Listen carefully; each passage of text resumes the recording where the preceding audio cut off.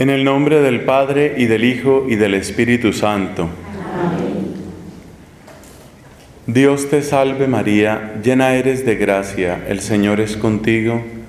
Bendita eres entre las mujeres, bendito el fruto de tu vientre Jesús.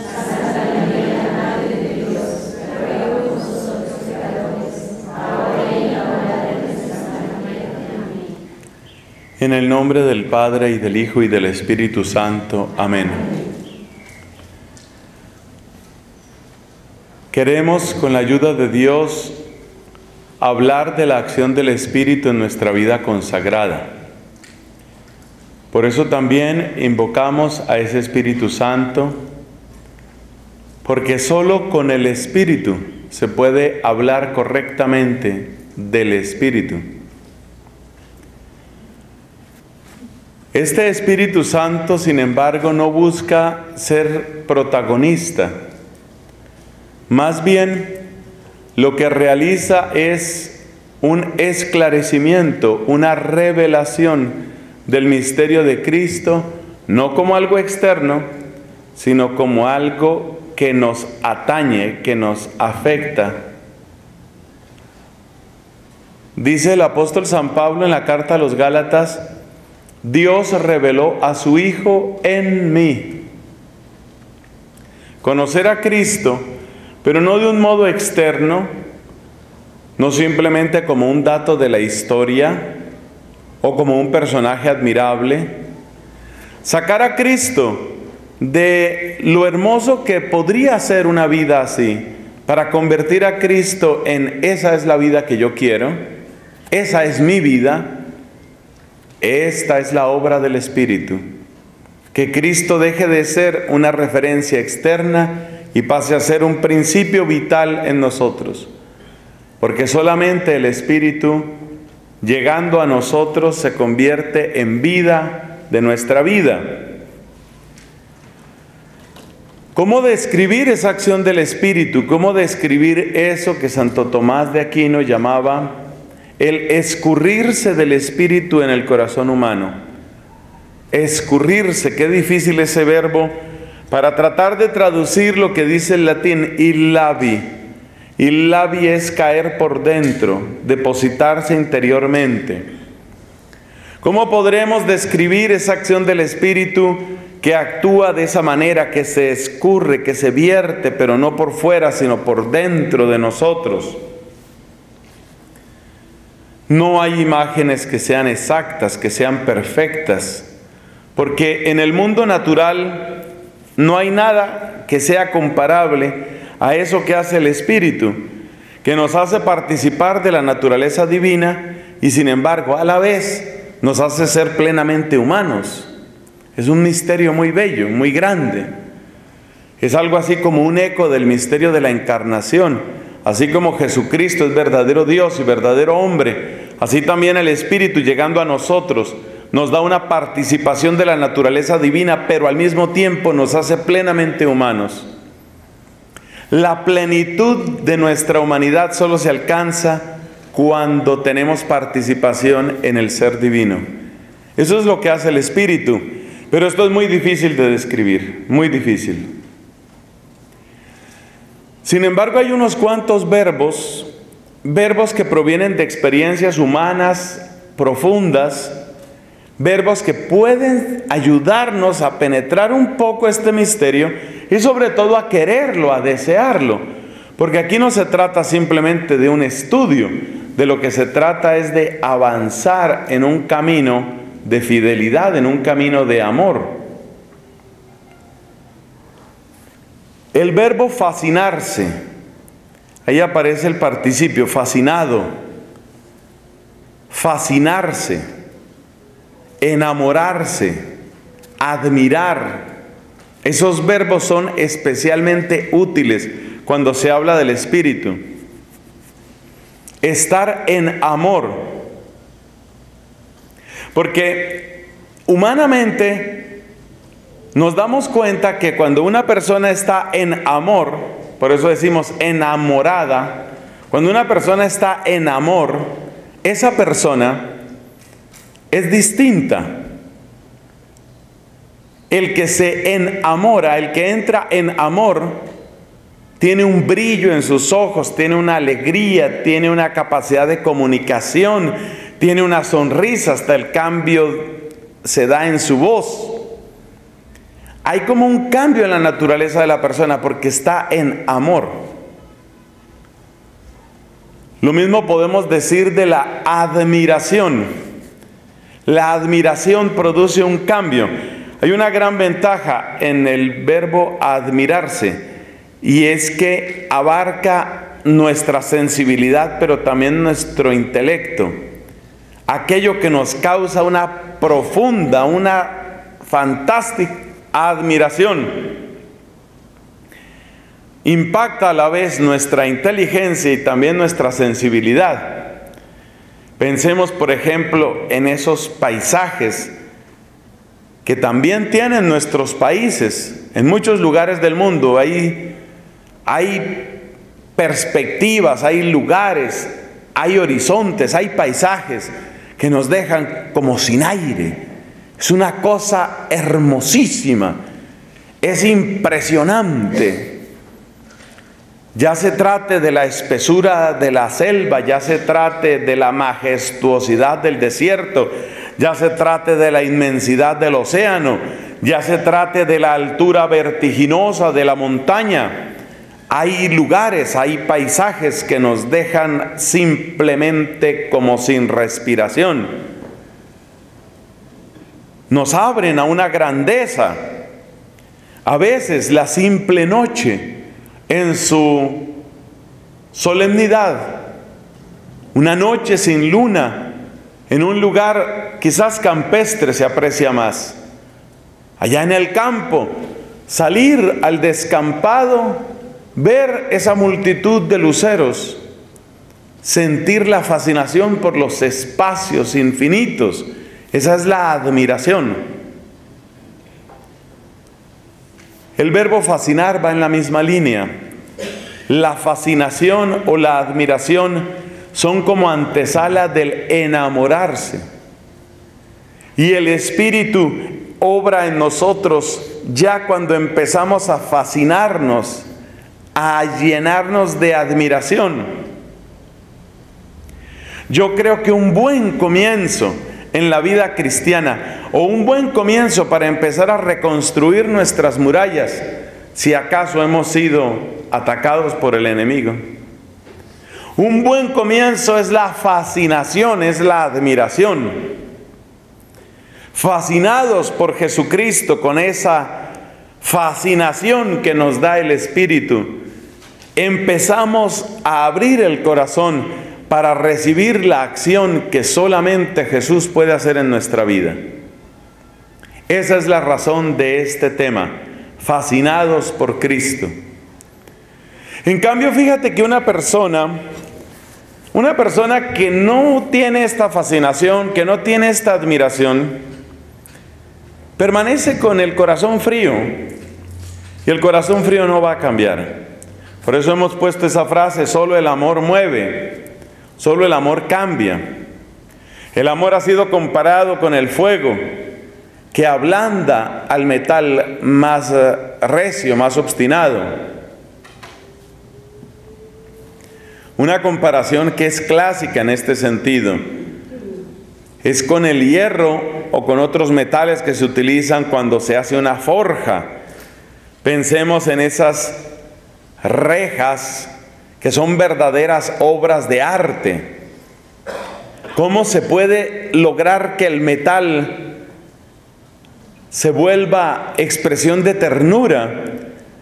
Hay gente que hace todo un árbol o toda una flor solo con metal, pétalos preciosos.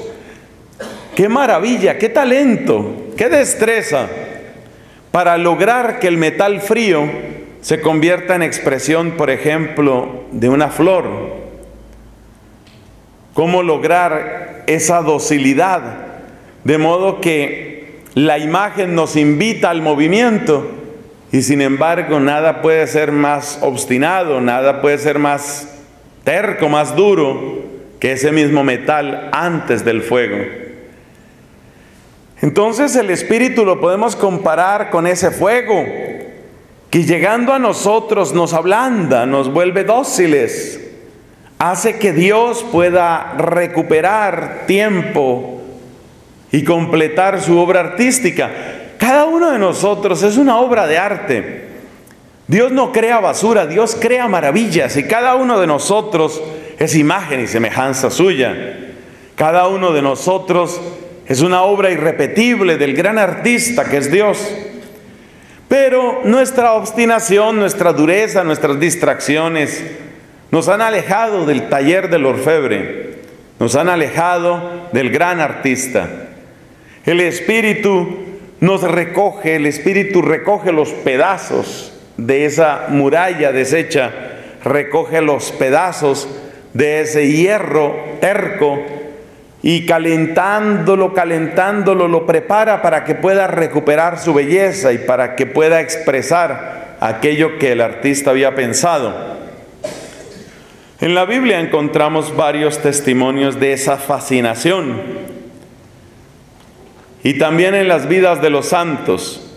Ahí he puesto, de un modo sencillo, he puesto en nuestro tablero algunos testimonios de esa fascinación. Dice el apóstol San Pedro, ¿a dónde vamos a ir? Tú tienes palabras de vida eterna. Pedro estaba fascinado por Cristo, fascinado. Tienes palabras de vida eterna. Tú hablas y, y, nos das vida. Tú hablas y esclareces el camino. Tú hablas y expulsas las tinieblas. Tú hablas y restauras nuestra dignidad y levantas nuestra esperanza. Tienes palabras de vida eterna. Decía Santa Teresa de Jesús, las palabras de Dios son obras. Haciendo como eco aquello que dice el Salmo. Él lo dijo y existió, Él lo mandó y surgió. O también aquello del Génesis, dijo Dios, y así sucedió. Y dijo Dios, y así sucedió. En Cristo Jesús tenemos la expresión viva, tenemos la presencia viva de esa palabra eficacísima de Dios, palabra, palabra de vida eterna. Entonces Pedro claramente estaba fascinado por Cristo.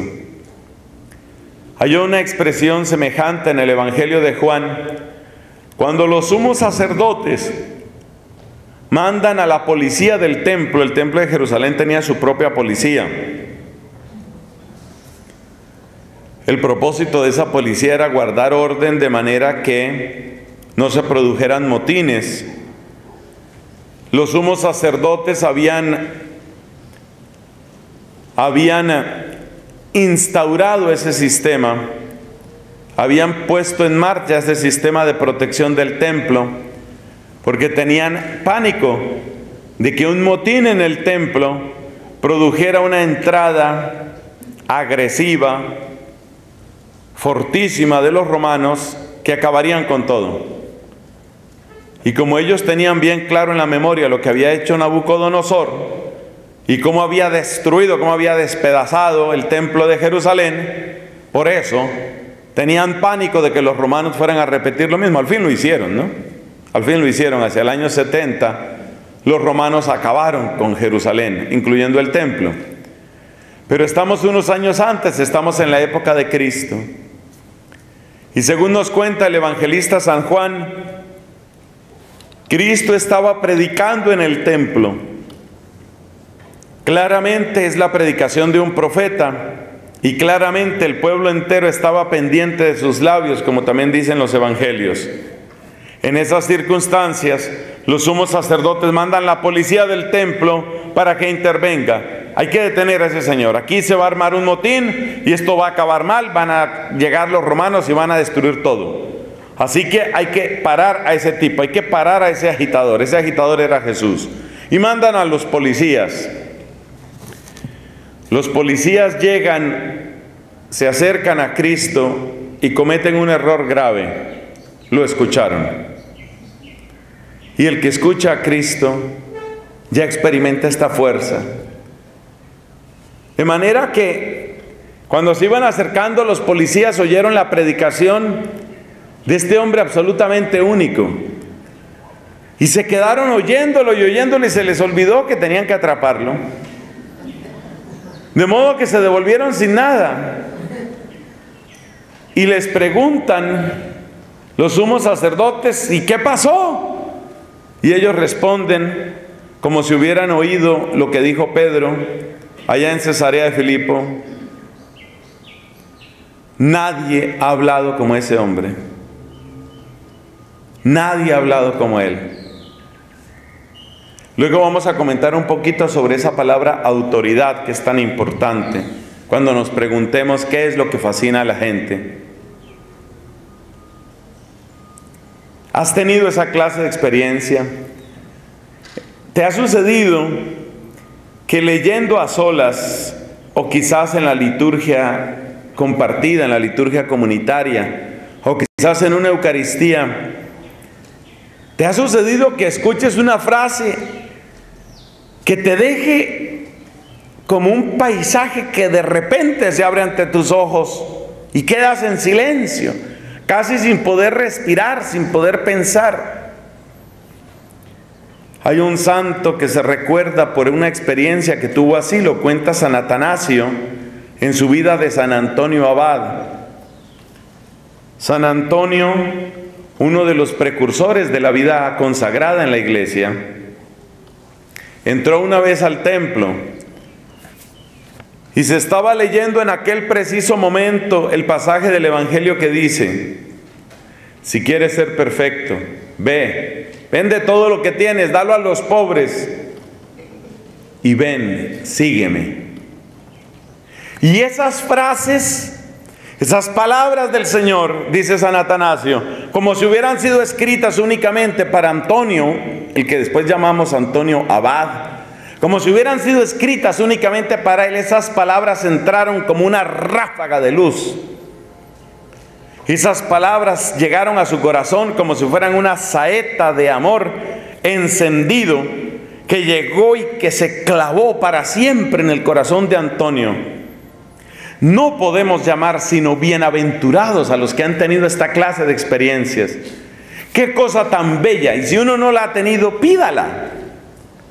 Si no te ha sucedido nunca una fascinación así por Jesucristo, pídele al Espíritu, abre mi corazón, abre mis ojos, abre mi mente, para que yo un día me pueda fascinar por el Señor. Lo contrario de la fascinación es lo que a veces pasa con algunos estudiosos de la Biblia. Que Dios nos guarde de esa actitud. No son todos, pero algunos estudiosos de la Biblia sí que son así. ¿Cómo? Toman el fuego de Dios, lo meten a su laboratorio, lo analizan en el microscopio. Meten el fuego de Dios en la nevera para detenerlo y congelarlo y esperan estudiar una llama. A ver cómo es una llama, pero para estudiar la llama la congelan. Y luego, con mirada fría, con corazón inerte, examinan versículo por versículo. Están muertos. Están muertos, han disecado la palabra.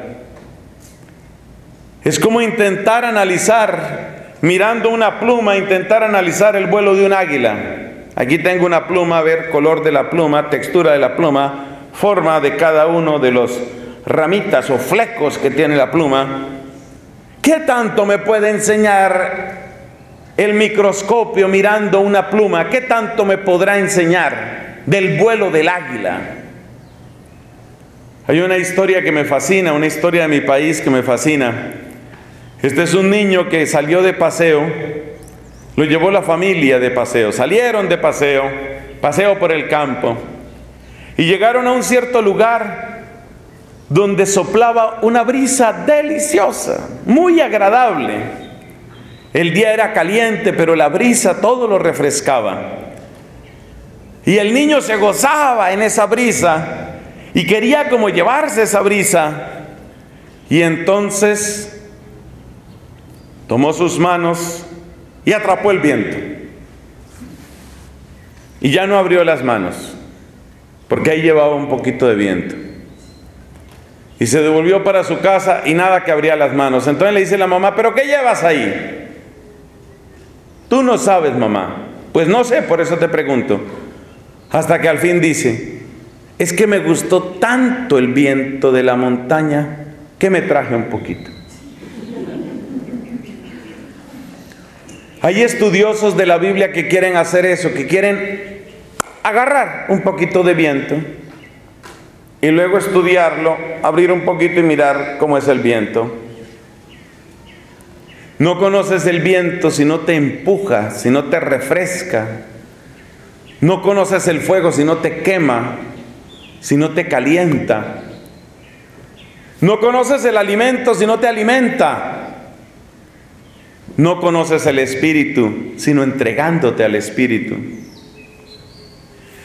Palabras de vida eterna, dijo San Pedro, dichoso el corazón que tiene esta experiencia. Que alguna vez en la vida, Dios mío, que uno no se muera, que uno no se muera sin que le pase eso. Que alguna vez en la vida tú sientas que se lee un texto de la Biblia y tú sientes como si hubiera explotado, pero una bomba de amor. Dice Catalina de Siena, que cuando murió Cristo en la cruz fue como si se reventara una bolsa llena de amor, que se derramó por todo el mundo. Qué cosa tan bella, si uno no ha tenido una experiencia de fascinación como esa, uno está en peligro de ser de los que meten el viento. Aquí lo traigo. Uno está en peligro de congelar la llama. Qué linda esa llama, qué preciosa esa vela como arde. Voy a llevarla a la nevera para que se congele la llama y tomar aquí la llama. Esta es una llamita, aquí la tengo, a ver de qué color es, a ver cómo funciona. Dice el apóstol San Pablo, segunda frase, por él lo perdí todo. Y todo lo considero basura con tal de ganar a Cristo. Ese estaba fascinado. El que no tenga ese tipo de amor no entiende nada. No entiende nada. Es lo mismo que sucede cuando una persona está en amor. Esos que están en amor se la pasan mirándose. Ya que más le mira la cara a esa señora. Pero es que él está en amor. Entonces la formita y el ojito y la pestañita y no sé qué y todo, y, mira, y mira. No solo amor de pareja, pensemos en el amor de una madre. Esas mamás que se quedan mirando al bebé y miran y miran al bebé hasta que lo destiñen. ¿Qué más le mira a ese muchachito? ¿Qué más le mira a ese bebé? Ya vio, ya lo vio. Nariz, cachetes, ojos, orejas, pelo. ¿Qué más le mira? Pero la mamá lo mira y lo mira hasta que lo destiñe. Porque la mamá está fascinada. Está fascinada, está llena de amor. Sin ese amor uno no entiende nada. Seguramente el papá de ese niño, si lo ama, sí que entiende a la mamá. Suele ser más intenso el sentimiento de la mamá. Pero el papá, el papá si ama a esa mujer y si ama a ese hijo, también lo entiende, porque él está en amor. Entonces, esta mamá orgullosa de su bebé lo mira, lo carga, le habla, le canta y sobre todo lo mira y lo mira y lo mira. Y luego el papá carga a su hijo y lo mira y lo mira y entiende lo de la mamá. Así él mismo no pase tanto tiempo mirando al bebé, entiende que esa mujer, que es su esposa y que es madre de ese niño, mire tanto al bebé. Estas frases no se entienden si uno no tiene amor.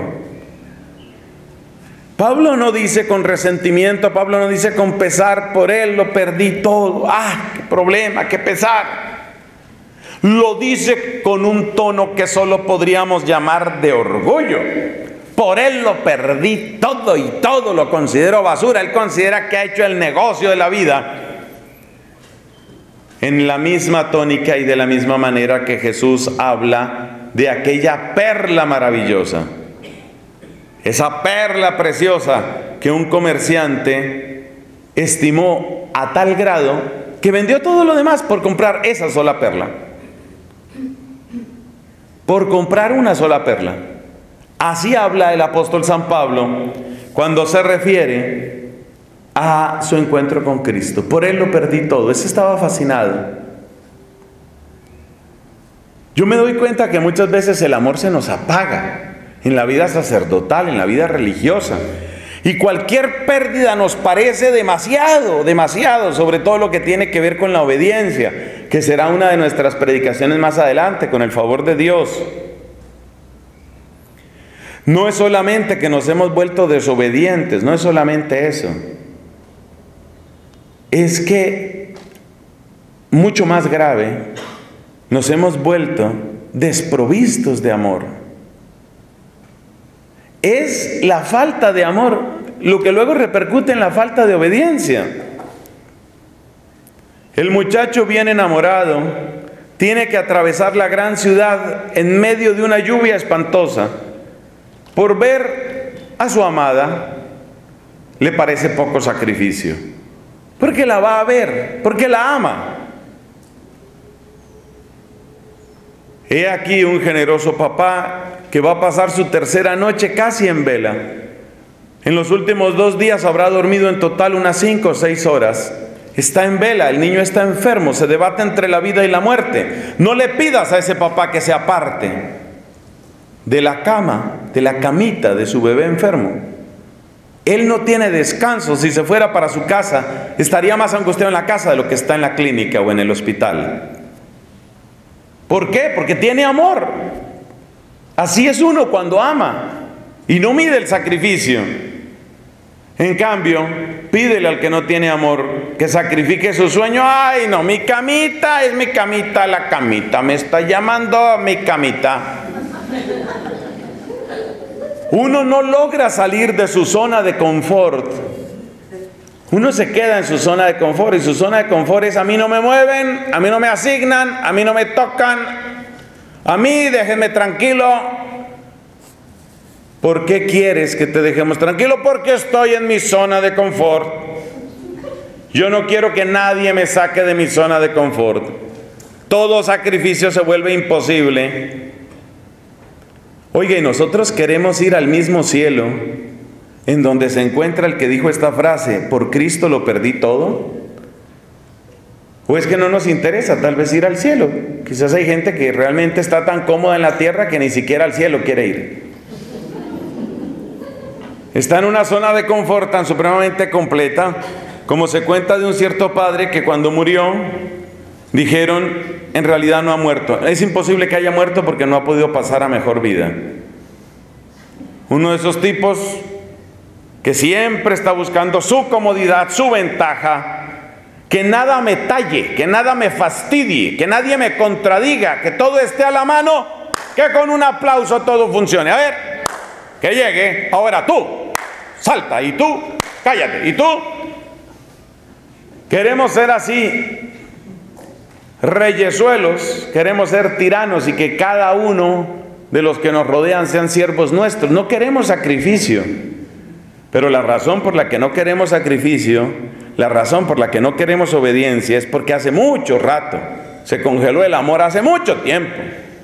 Una persona que está en amor, una persona que siente que Cristo es la pasión de su vida, que Cristo le tiene fascinado, esa persona casi que pide combate. Casi que pide combate. Ese es un problema que a veces se presenta en las Fuerzas Armadas. ¿Cómo mantener a los soldados entrenados y motivados cuando no hay guerra durante mucho tiempo?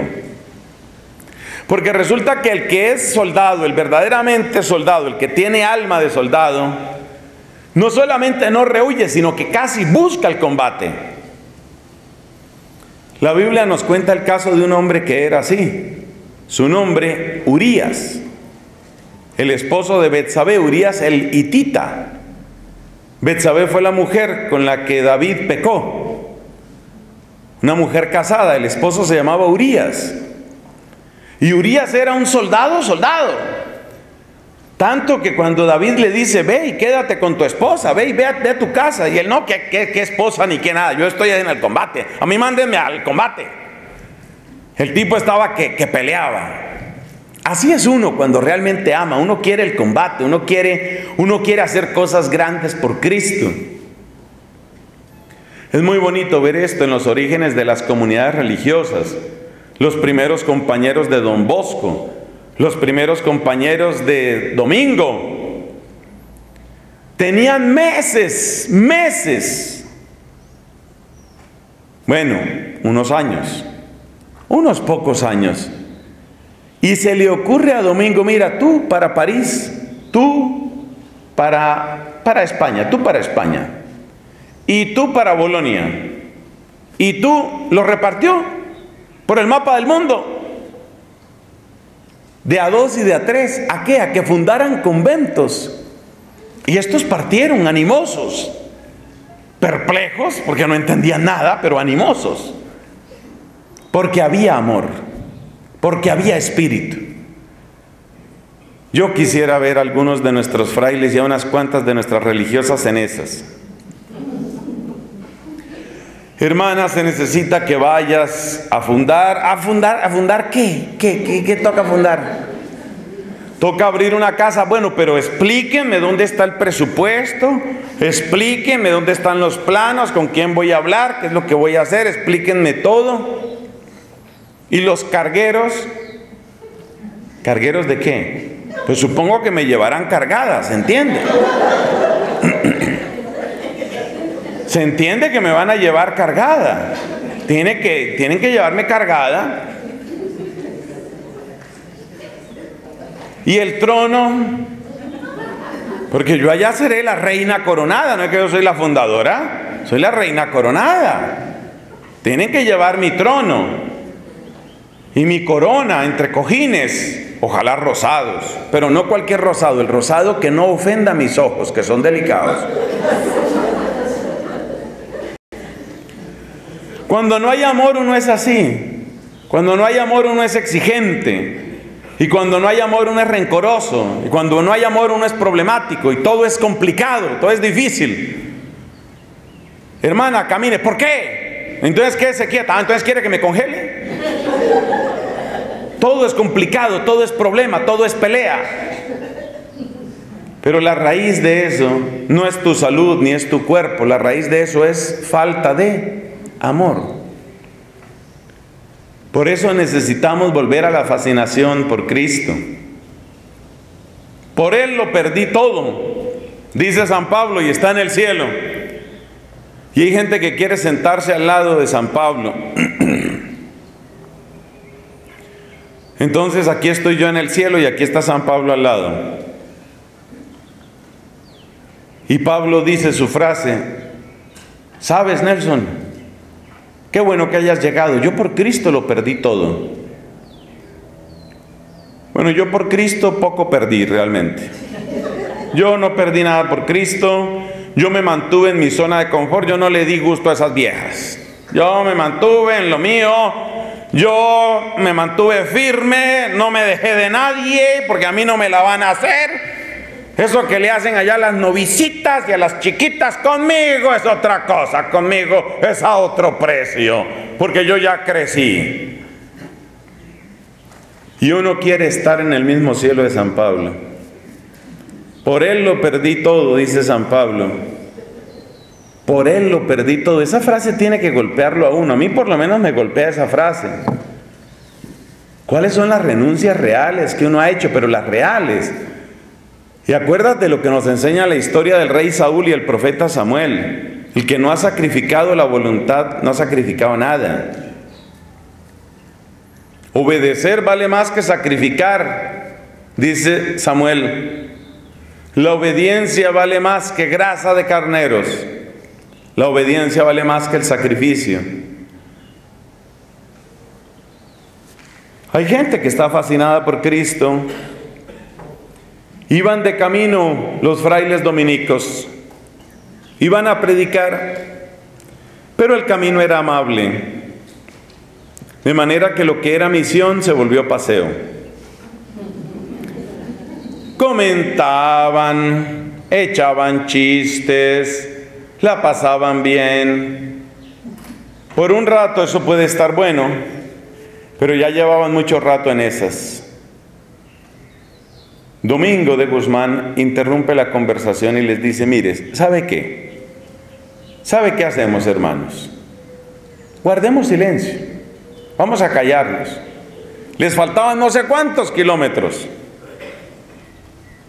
Y es tan agradable cuando uno va con otras personas el chiste, el chascarillo, la anécdota, ¡Jua, jua, jua, jua! la risa y reírse del uno, reírse del otro. Pero ya estuvo bien, dice Domingo, ya, ya estuvo bien. Ahora callarnos, vamos a callarnos. Él sentía en su interior el llamado a algo que también es amor. Muy bonita la fraternidad, el momento de esparcimiento está muy bien, pero Vamos a callarnos. Pensemos en nuestro Señor. Pensemos en nuestro Salvador. Como le dijo el apóstol San Pablo a su discípulo Timoteo, acuérdate de Jesucristo. Es muy, muy bonita esa anécdota, nuestro Padre Domingo, porque el ambiente que había en los frailes no era un ambiente de hostilidad, era un ambiente agradable. Pero es que el que está enamorado, el que está en amor, ese no desea apartar por mucho tiempo el recuerdo del objeto de su amor. Y Domingo se da cuenta que está muy bien el chiste, un momento de apunte, un momento de, esparcimiento está bien, pero que no se nos olvide dónde está nuestro centro que no se nos olvide dónde está nuestro amor. Domingo sentía que ya estaba pasando mucho tiempo, mucha risa y se nos está olvidando nuestro centro. Entonces con su característica autoridad llena de mansedumbre, les dice, mire, guardemos silencio. Guardemos silencio. Vayan ustedes delante. Vayan delante. Yo me quedo un poquito atrás. Quiero estar a solas. Eso les impactó muchísimo. Mucho. Porque resulta que Domingo no era una persona amargada. Cuando una persona amargada dice, ¿sabe qué? Yo quiero estar solo. Ay, bendito sea Dios. Claro que sí. Quédese por allá solito. Hay personas que hablan y destilan bilis y amargura. Ese tipo de personas no suelen encontrar gente que quiera acompañarlos. Pero Domingo no era así. Nos dice Jordán de Sajonia, ninguno más afable que él. Era amabilísima su compañía. Era agradabilísimo estar con él. Una de esas personas que tienen una conversación siempre luminosa, esa gente que sabe ver el aspecto bello de las personas y de la vida. Porque efectivamente, así como hay gente que a cada problema le encuentra una solución, hay gente que a cada solución le encuentra un problema. Domingo pertenecía al primer grupo de esas personas que tienen un enfoque bello sobre la vida. Pues este domingo, tan amable en su compañía, este domingo que es tan, tan buen compañero, sin embargo les dice, quiero quedarme un poco atrás, quiero estar a solas. Eso les impactó mucho. Este, que es tan amable y que es tan sociable, porque no es ningún amargado, este que es tan sociable, ¿con quién socializa cuando está a solas? ¿Con quién se queda? Con Cristo. Es decir, más allá de lo hermoso que pueda ser un compartir fraterno, que es válido y es necesario, y Domingo lo vivió muchas veces, él tenía ese llamado interior, porque Domingo estaba en amor, porque había amor en él, por eso.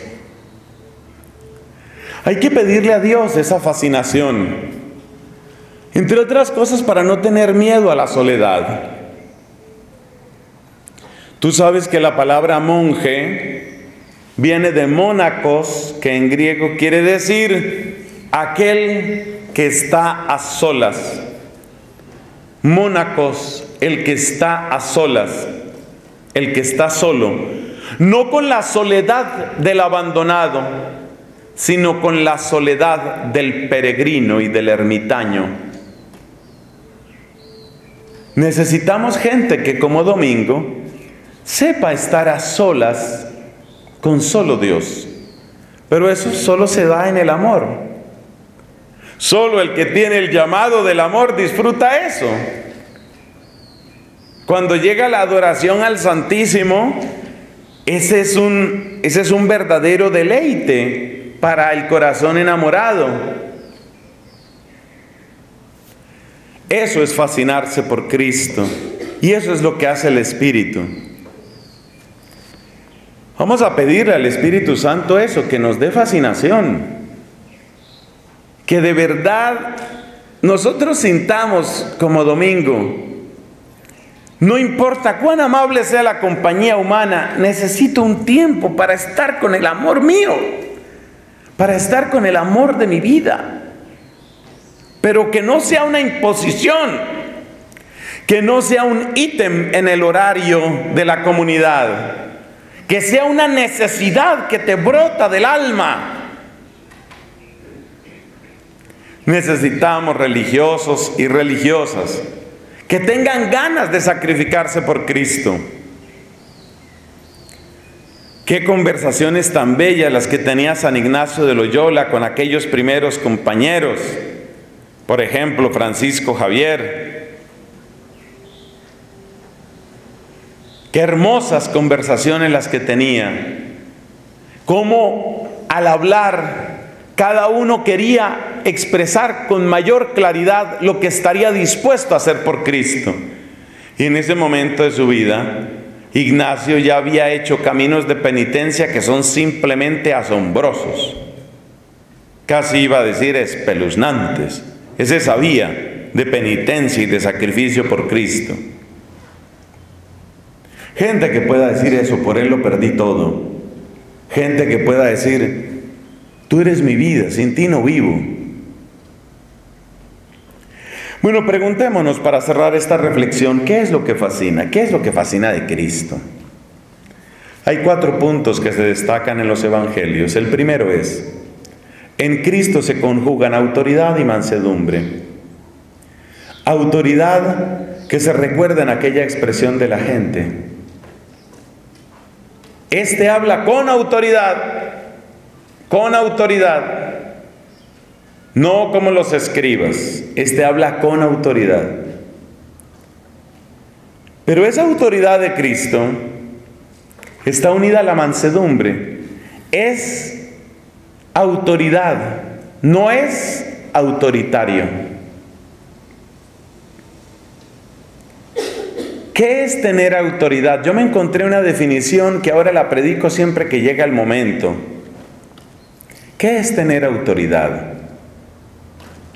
¿Qué es un autor? Autor es el que escribe. Autor es el que realiza una obra y le pone su sello, su firma, su estilo. El autor es el que obra, el que hace la obra. Entonces, ¿Quién es autor en mi vida? Pues yo mismo, por supuesto, estoy escribiendo mi vida. Pero hay personas que escriben en mi vida. Hay personas que me han hablado de tal manera que sus palabras han quedado escritas en mi vida. Son autor, son coautores de mi vida. Ser autoridad es ser digno de escribir en la vida de otros. Eso es ser autoridad. Hay gente que pretende imponer su mensaje, pero ser autoridad no es imponer un mensaje. Ser autoridad es hablar, escribir, ser, irradiar algo que queda escrito en los demás. Eso es ser autoridad. El que pretende tener autoridad sin ser digno de escribir en otras vidas es un autoritario. Pretende imponerse. No ha dejado escrito. No ha dejado palabras, ha dejado borrones, manchones. El autoritario deja manchones. El que es autoridad deja palabras, deja poesía, deja luz y verdad. Cristo es autoridad. Pero ahora únelo con la otra palabra, es manso. Así como la palabra autoridad no es tan fácil de definir, la mansedumbre tampoco lo es. ¿Qué es la mansedumbre? Es una palabra difícil, pero instintivamente reconocemos lo que quiere decir manso, empezando por una constatación, llamémosla negativa. La persona que es mansa es la persona que no me va a hacer daño. Es la persona a la que puedo acercarme. Es la persona la persona que no lastima es la persona que no destruye. Entonces la mansedumbre, ¿cómo la podríamos definir? La mansedumbre es aquella cualidad de los que manifiestan bondad. Una bondad serena, una bondad que no se impone, una bondad que se ofrece. La mansedumbre es la bondad ofrecida con discreción. Entonces la autoridad es la dignidad de aquel que realmente quiero que escriba en mi vida. Tiene autoridad el que es digno de escribir en mi vida y tiene mansedumbre el que irradia una bondad serena, una bondad discreta. Y Jesús tiene ambas cosas. Es digno de escribir, pero no impone su mensaje. Esto fascina. Porque el que es digno de escribir, pero no pisotea mi vida, sino que toca a la puerta. He aquí que estoy a la puerta y llamo. ¿Qué puede haber más amable que alguien me diga, mira, traigo para ti un regalo? He traído para ti una pequeña donación, lo que te puedo dar por ahora son unos 40 mil dólares. ¿Qué puede ser más amable que esa donación? El hecho de que es ofrecida con ternura, con humildad, con discreción. Ese es Jesús y eso fascina. Es digno de escribir en mi vida pero no se impone, no patea, no llega pateando, insultando. Esa delicadeza de Cristo, especialmente con los pecadores, con los enfermos, con los pequeños, con los marginados. Esa bendita mansedumbre de Cristo. Aprended de mí que soy manso y humilde de corazón las mamás de la época sentían esa bondad serena de Cristo. Y no cuesta trabajo imaginar a estas mujeres diciéndole en voz baja a sus hijos, ve, ve, ve, ve para que te bendiga, ve, corre, corre, ve donde el profeta, ve para que te bendiga. Y los niños reconocen la mansedumbre. Los niños en ese sentido se parecen a aquellos animalitos tímidos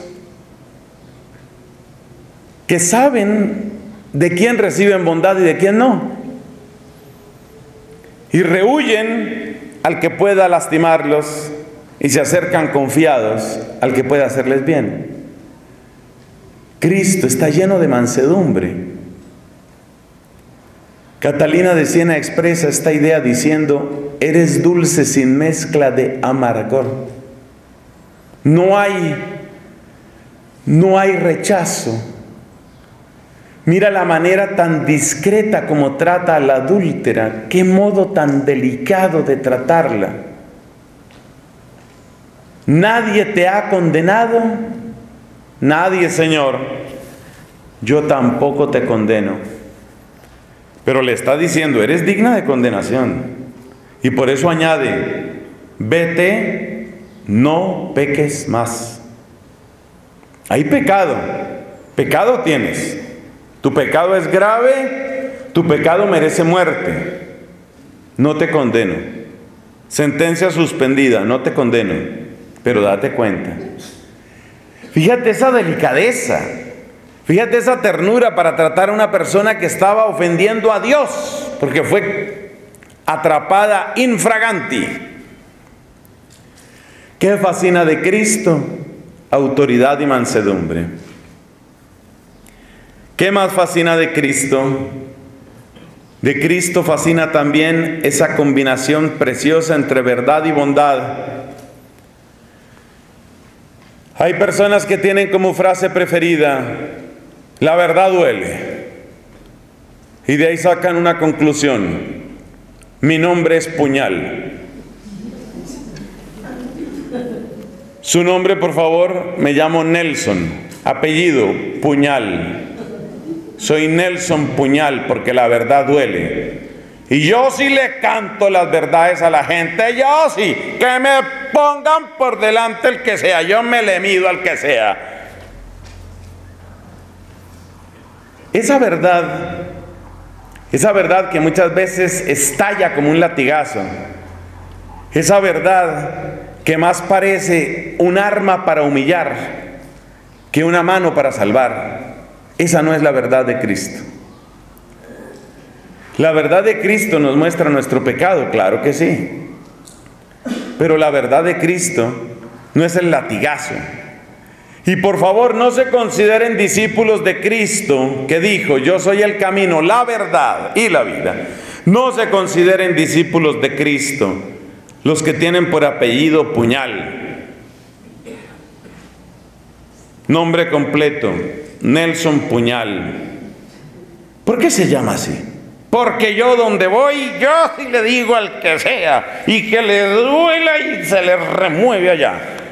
Porque la verdad tiene que doler.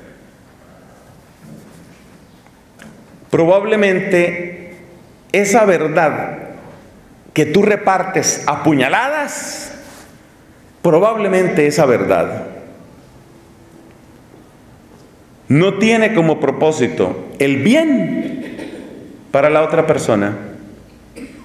Esa verdad puñal es una expresión de tu superioridad esa verdad puñal es una expresión de tu poder. Yo se humillo a cualquiera. Y a mí que no me vengan con historias. Yo conozco muy bien el pasado de esa persona. Soy capaz de desnudar a cualquiera aquí.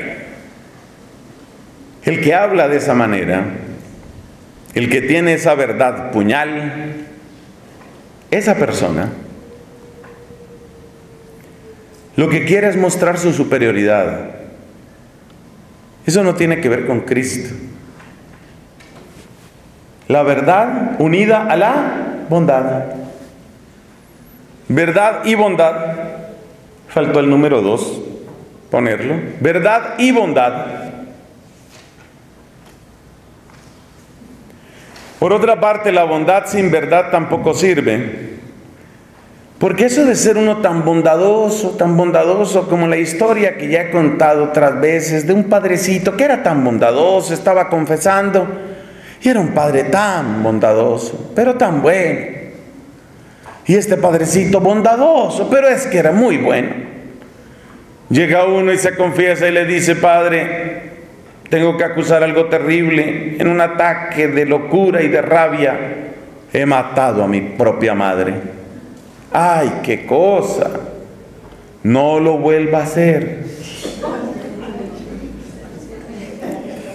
La bondad, la bondad que no se reviste de verdad termina siendo complicidad.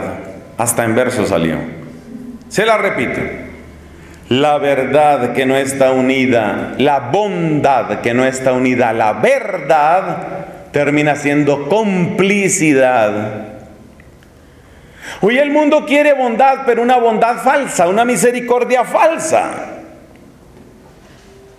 Entonces, que los divorciados que se han vuelto a casar, que comulguen, pobrecitos, los vamos a dejar sin comunión, imposible, imposible. ¿Cómo se van a quedar sin comunión? Que comulguen, claro que comulguen. Que vayan con la nueva esposa con la que están cometiendo adulterio y primero él y luego ella el par de adúlteros se ven tan bonitos, los adúlteros comulgando, el momento en que el adúltero comulga, tan tierno que se ve. Es una bondad que se convierte en complicidad. Muchas personas hoy entienden la amistad de esa manera, especialmente entre los jóvenes. Amigo es el que no te juzga, amigo es el que te acepta tal como eres. Hay algo de verdad en eso. Pero el que te acepta tal como eres y no te ayuda a mejorar, ese no es tu amigo, es tu cómplice. Y mucha gente está buscando cómplices, no están buscando amigos, están buscando cómplices. La bondad sin verdad es complicidad. En Cristo se juntan las dos, la verdad y la bondad. Ahí se juntan. Es verdadero muestra dónde está el bien y dónde está el mal, pero es bondadoso, no es cruel, no es humillante, no es arrogante. Eso fascina. Fíjate cómo la samaritana se da cuenta de que Cristo le está diciendo la verdad. Pero se la dijo con tanta bondad que la misma samaritana se fue predicando por el pueblo con estas palabras. Aquí hay uno que me ha dicho todo lo que he hecho. O sea, me mostró mi verdad. Pero ¿cómo sería la bondad con que se, le, se la mostró? ¿Cómo sería la fuente de esperanza que puso en ese corazón de ella que hizo posible que esta mujer saliera a predicar? La verdad unida a la bondad, eso fascina de Cristo. El poder unido a la compasión, Estamos acostumbrados a que el poderoso es implacable y estamos acostumbrados a que el compasivo es impotente. Qué poco puede hacer el compasivo y qué duro que es el poderoso. Ese es el mundo en el que vivimos. Pero en Cristo se juntan las dos. Es poderoso y es compasivo. Y eso fascina. Ciertamente lo necesito poderoso para que aleje de mí las tinieblas. Ciertamente lo necesito compasivo, para que me saque y me salve. Porque es que fíjate que en el Antiguo Testamento Dios se muestra como poderoso. Pero parece que con mucha frecuencia, especialmente en la ley de Moisés, el pecador tiene que morir con su pecado, por eso hay tanta pena de muerte en la ley de Moisés. Blasfemó, acabarlo a pedradas. Habló mal contra el templo, mátenlo a piedra. Adulteró, piedra contra él. Yo no sé dónde sacaban tanta piedra. Seguramente ahí se inventó el reciclaje. Todo lo solucionaban a piedra. ¿Qué es apedrear? Es destruir al pecador en un intento de destruir al pecado. Entonces el poder del Dios celoso con frecuencia aparece en el Antiguo Testamento como separado de la compasión.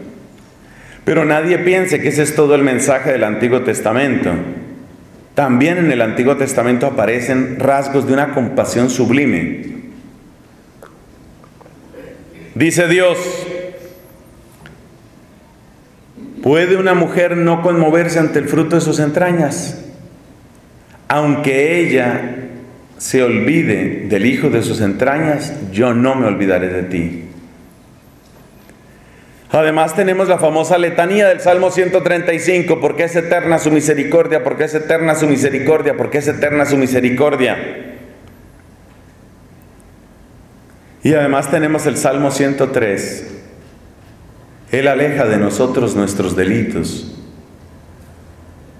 Como dista el oriente del ocaso, así aparta de nosotros nuestros delitos. O sea que ya en el Antiguo Testamento hay conciencia de que Dios es capaz de separar el pecador de su pecado, de modo que no perezcan juntos. Poder y compasión. Necesitamos misericordia, pero necesitamos poder. Poder para que la misericordia no sea simplemente vendar una herida que no se ha curado. En su discurso de clausura del sínodo, el Papa Francisco del Sino de 2014, el Papa Francisco dijo una cosa muy bella. Dijo, hay algunos que quieren vendar heridas, eso parece misericordia, pero sin curarlas. No son poderosos para curar la herida y si quieren ser compasivos para vendarla. Así no es, así no es. Que tengas poder para curar y entonces busca la misericordia para vendar. Y ahí sí, ahí sí. Cristo fascina porque es poderoso y compasivo. Cuarto punto, Cristo fascina porque acoge, nos acoge como somos, pero nos transforma. Me encanta el capítulo noveno del libro de los Hechos de los Apóstoles, la conversión de San Pablo. Cómo Dios acoge a Pablo, pecador, soberbio, bravucón, homicida, pedante, fariseo, así lo acoge Dios. Pero he aquí lo que dice. Estas palabras se las dice a Ananías, el que fue encargado de bautizar a Pablo. Le dice, yo le mostraré lo que tiene que sufrir por mí. Lo acoge como pecador y lo transforma en santo. Ese es Cristo. Si no me acogiera tal como soy, yo estaría perdido. Pero si me acoge como soy y me deja como soy, estoy perdido también. Cristo fascina porque me acoge tal como soy, pero me transforma tal como Dios quiere que sea. Me acoge hoy tal como soy y me pone en camino para transformarme en aquello que Dios quiere que sea. Cristo fascina. Ahora solo falta que nosotros nos dejemos fascinar. Solo falta que nos abramos en la invocación del Espíritu Santo para que ese Espíritu haga sus prodigios y maravillas en nosotros. Gloria al Padre, al Hijo y al Espíritu Santo